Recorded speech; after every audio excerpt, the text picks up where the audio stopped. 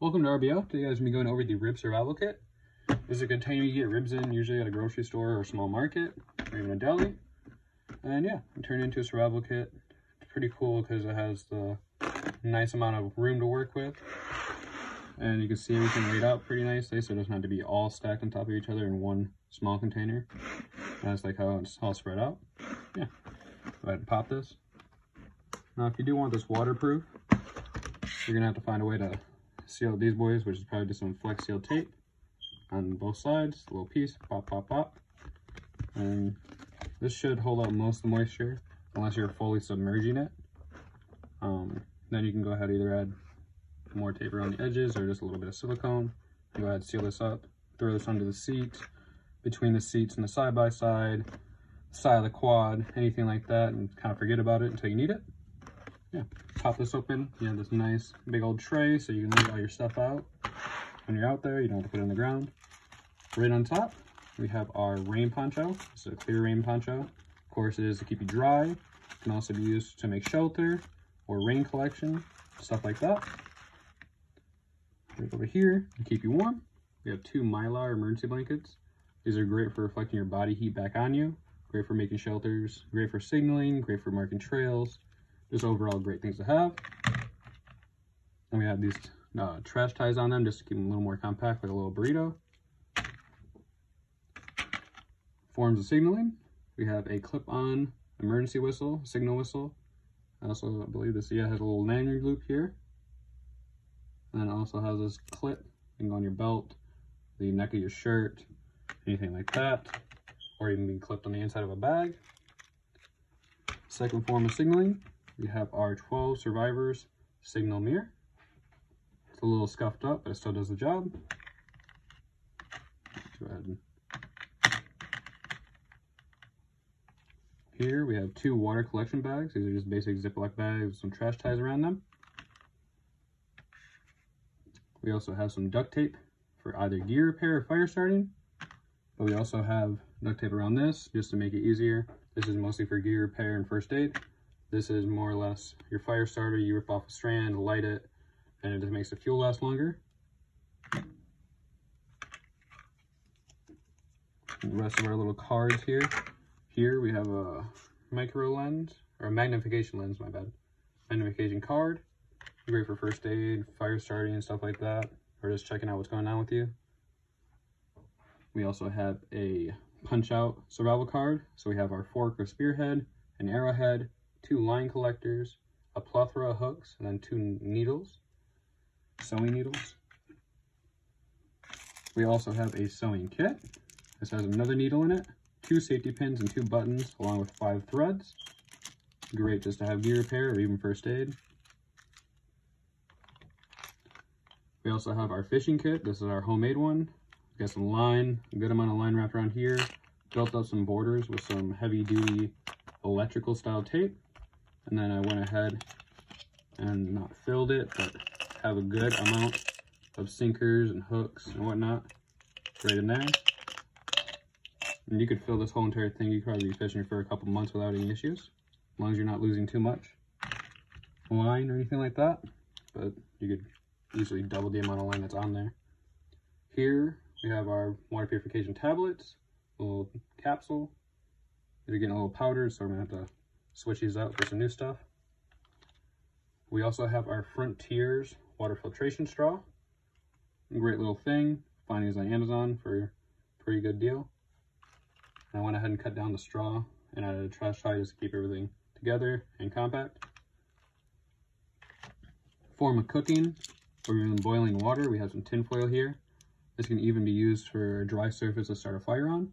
If you're in a very damp environment, that it could just be sucking all the heat and all that stuff and the moisture be coming up into your fire and just killing it. So that makes it a little bit easier. In addition, we have two fire starting cube packets. These have two blocks in them. That's one solid block that you can break in half. This one's already busted. And it makes four fires instead of just two. We also have our Coghlan's ferro rod a little bit of electrical tape here. Ideally, it's going to be orange and go all the way around, just in case you drop this, and it's all black. If you guys have ever watched Alone, the first season, Joe Robinet, is the exact reason why most of your gear, especially the stuff that's used daily and very, very essential, should have orange on it so you can find it. And you have higher chances of finding it because it's never a for sure thing. For light, we have our Member's Mark flashlight. Zooms out, zooms in, has a couple different modes. And it's just a very cool light. This does not go in the dark, sadly. And I added this on just so you have a way to either connect it to something or there's a better grasp on it. Or if you want it hanging from somewhere, it just works easier like that. We also have two packets of 10 hour hand warmers. Since it is getting a little bit more chilly here in the north, I'm gonna start putting those back in the kits because ideally you don't want to be freezing out there and hand warmers along with the mylar bags or blanket is pretty much unbeatable. Here, just have two hard mints, just give you a little bit of boost out there, as well as a packet of peanut butter. This is 28 grams of peanut butter. It's not life-changing, but it gives you a little more energy. Here we have our compass, course for navigation. I believe this is a Coghlan. It might not be. Oh, okay, so this is the off-brand one. But it still works the same. It's like 10 bucks.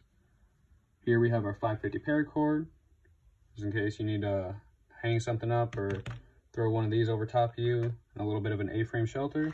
Go ahead and do that. Another way of signaling, this one's for night. It's a six inch light stick. usually come with string or you can take your 550 paracord or your fishing line, put out about three or four feet, light this sucker up and spin it in a circle around you, do different kind of patterns, a nice open patch. And if there are people in your area, especially in the sky, they're doing helicopter flyovers, drone flyovers, or C-130 flyovers, they will have a higher chance or a higher rate of seeing you uh, let alone or better off than just having nothing, just be in the dark, which, you know, everything helps. Here, we have our first aid kit. I was just thinking, I gotta tell you guys, I wanna do a video how my dad went missing had to get rescued by the Coast Guard. Cause that's, that's how it happened. You know, you gotta get rescued, get found. In this first aid pack, we have two triple antibiotic ointments we have our non-aspirin. We have some sting relief pads, well as some basic bandages,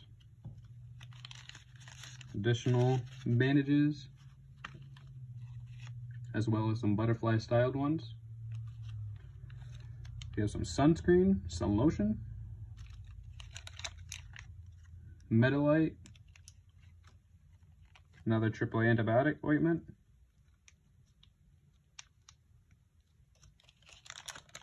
we have our ibuprofen, uh, Morbran bacterial ointment, so antibiotic, I'm assuming, and then aspirin. And that, oh, no, that is not the kit, guys. This, this was dark in the bottom. I didn't catch it quite. I don't have my glasses on today. This is our Gerber multi-tool. Of course, you have your needle nose, pliers, your little wrench, and your wire cutters. And then over here, close her back up. You can go ahead and pop off. We have our saw. Like my fingers are just always too big for this. We have our blade as well as our screwdrivers. We have our Phillips head, which is a really nice Phillips. Then we have our flathead. Hmm. Trying, guys. We have another saw or a descaler. One's a descaler one's a saw. At least that's what I mean being told. Close that. We have our can opener, bottle opener. I believe this is another screwdriver. If I'm wrong, I'm sure I'll get corrected. Then finally, not but not least, if I get it out. Why is this one being such a pain? Okay. Here we have scissors, which I thought was kind of cool. Wasn't expecting that to be the last one when I got them. But yeah, let me know what you guys think in the comments, what you guys would do differently. And if there's any kind of content in the outdoors realm that you'd want to see coming to the channel, please leave it down in the comments. I, I love feedback. I love new ideas. And so if you can guys give me something to work with, I want to see what we can do there. Um, but thank you guys for watching the video. Thank you guys for supporting the channel and me. Have an amazing day.